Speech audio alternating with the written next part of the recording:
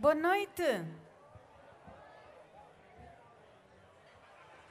Esta noite vocês vão ter uma coisa muito diferente que é uma cabo-verdiana a cantar o fado. Será possível? She's always been a singer since she was little. She always sang.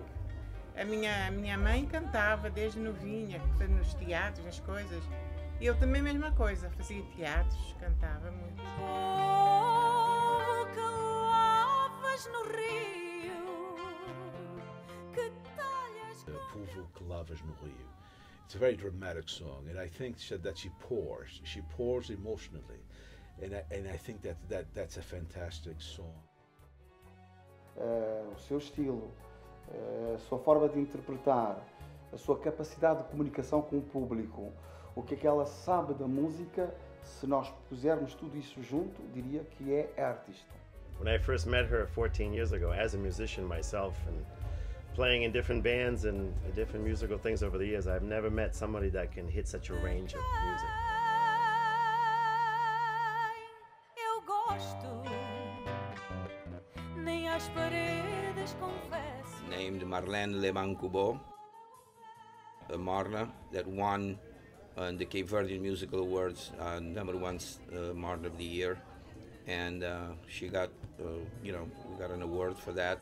Gardénia é um, uma das vozes mais mais autênticas de música cabo-verdiana. I could say that yes, because um, she's a very popular singer from from Cape Verde, you know, the island where we're from. I always heard her sing at home. She and my mom always sang.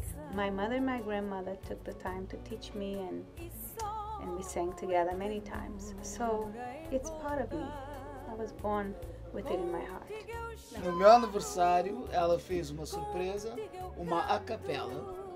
Eu tive eu, arrepios que até hoje eu sinto os arrepios até hoje da voz maviosa dessa nossa diva que é a Gardena Berro. Já nunca mais eu esqueço disso.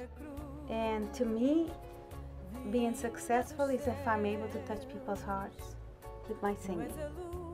And if they're happy, some people cry. Some people tell me, "Oh, you made, you know, I was so emotional." And that to me is success, because that's the language of music. It's all about emotions.